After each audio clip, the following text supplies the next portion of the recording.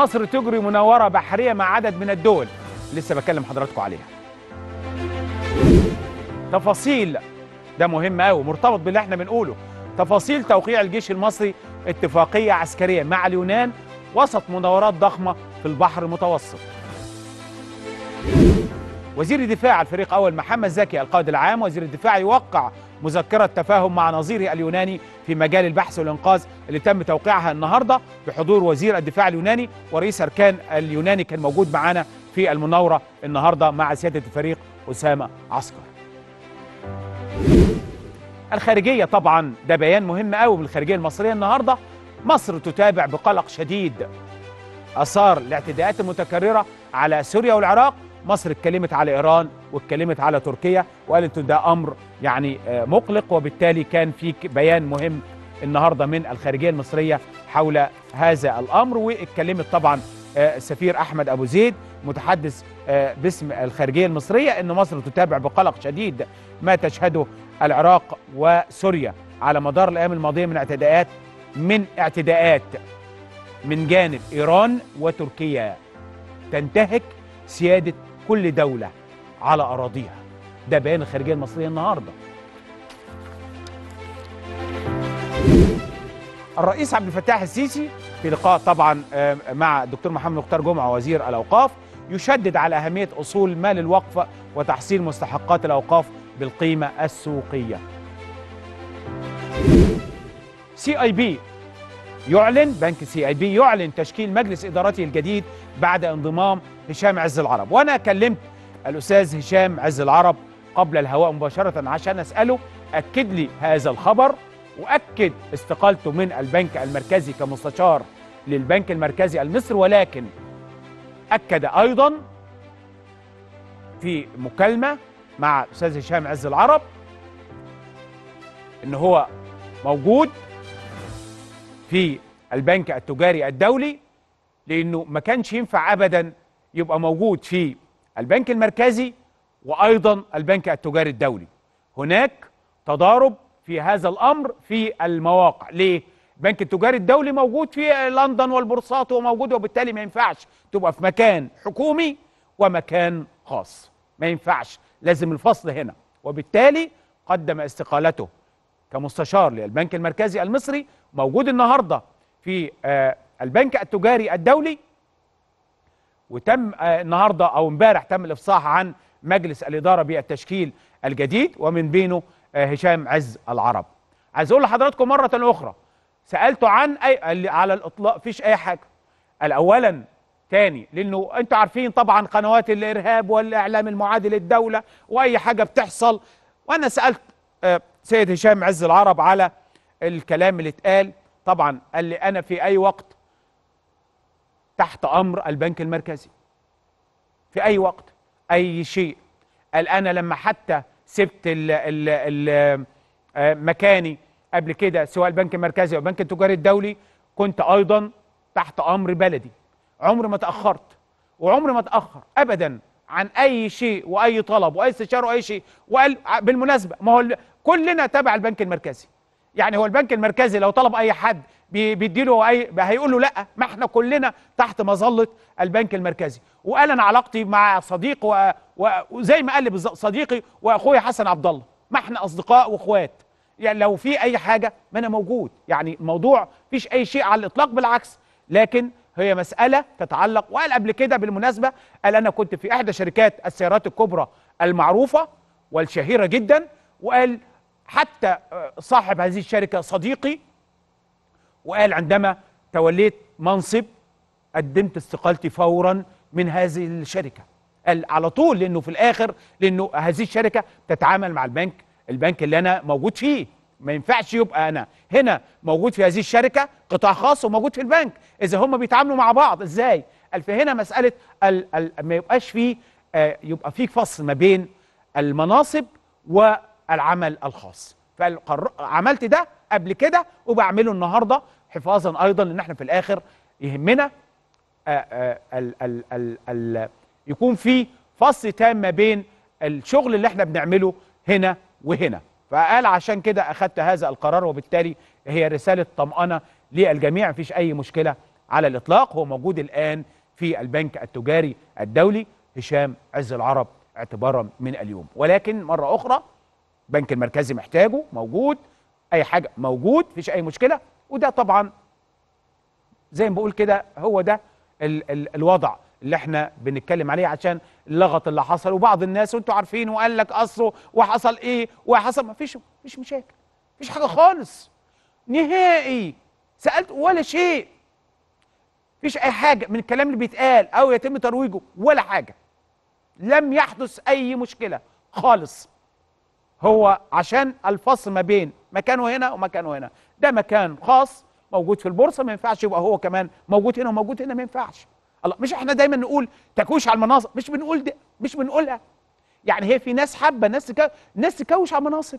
مش بيتقال بلاش تكويش. طب أهو راجل قال لك خلاص أنا في مكان واحد. مش ما ينفعش يبقى في مكانين. يبقى ده أمر نتكلم عليه ونتكلم والناس تقعد تشك. لأن الناس مع المشكلة إيه؟ الناس ما يبقاش عندها معلومة للأسف الشديد. يبقاش عندهم معلومات. فيطلعوا يفتوا يقولوا أي كلام. وليهم أهداف أخرى ومآرب أخرى. اضرب بقى في البنك المركزي اضرب بقى في السياسات المالية والنقدية اضرب في الحكومة اضرب في الناس. اعمل شو اعمل دوشة. ما هو مش لاقيين حاجة يعملوها. ما بعد ما فشلوا بيفشلوا. طول الوقت بيفشلوا. فشلة. ما هم فشل والله فشلة. ده لسه اللي جاي. ف المهم فلانهم فشله فيعملوا أي حاجة بقى. ويضربوا في أي حاجة ويوقعوا هنا ويقولوا أي كلام. هل قالوا مرة خبر؟ هل مرة قالوا خبر؟ ما أنا قلت لحضراتكم ما بيقولوش أخبار. ما بيقولوش أخبار بيقولوا شائعات. فاللي بيقولوه خدوه على طول على إنه شائعات بس وخلاص مفيش حاجة. نكمل باقي أخبارنا. تفاصيل مشروع ضخم في مصر.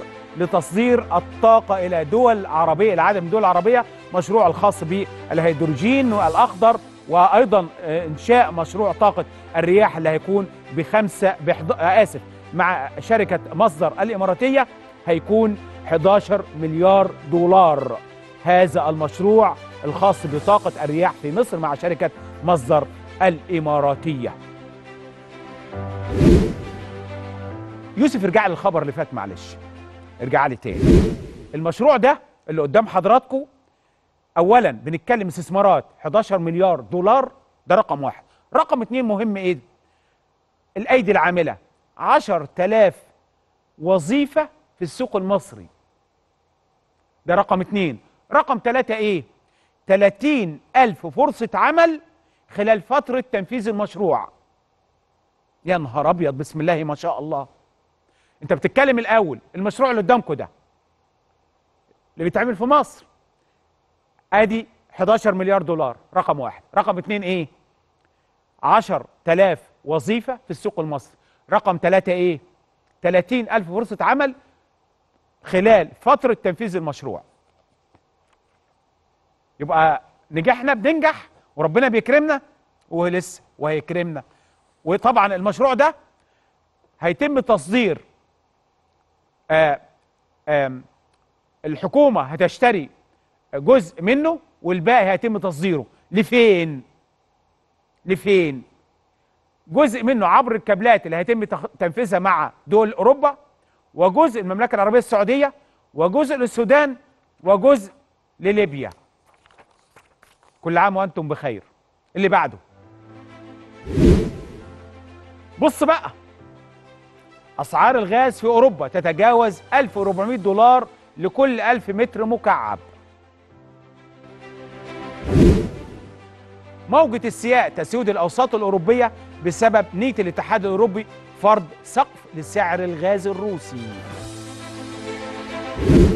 إسبانيا ترفض فرض سقف لأسعار الغاز وتوجه اتهامات خطيرة للمفوضية الأوروبية وهنتكلم عن الموضوع ده كملف بعد شوية. أمريكا.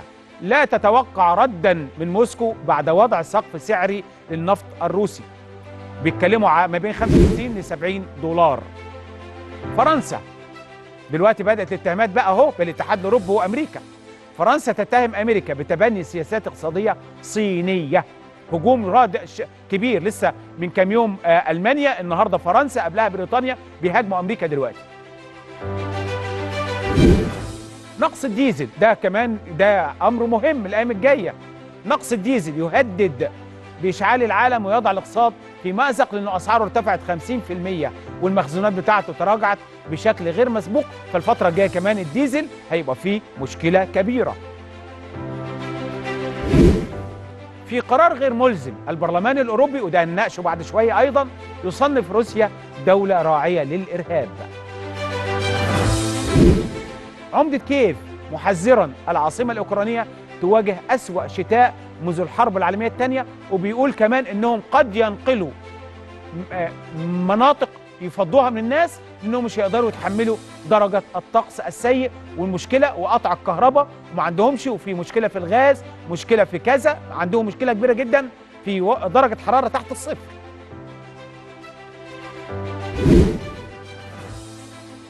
فضح دول أوروبا مين؟ بوريس جونسون. ألمانيا هو بيقول كانت تؤيد اجتياح روسيا لأوكرانيا. احتجاجات في أكبر مصنع آيفون في الصين بسبب كورونا وتفشي كورونا وعملوا إجراءات وعاملين إغلاق وعاملين وكورونا بتزداد تفشي في الصين بقالها حوالي ثلاث أسابيع. المحكمة العليا البريطانية اسكتلندا ليس لها الحق في إجراء استفتاء حول الاستقلال. هم طبعا كانوا طالبين عايزين يستقلوا عن المملكة المتحدة ويكونوا بعيد عنها وبالتالي النهارده المحكمة قالت لأ وليس لهم حق ولا البرلمان الاسكتلندي له حق. اللي حق الوحيد هو البرلمان البريطاني أو مجلس العموم البريطاني.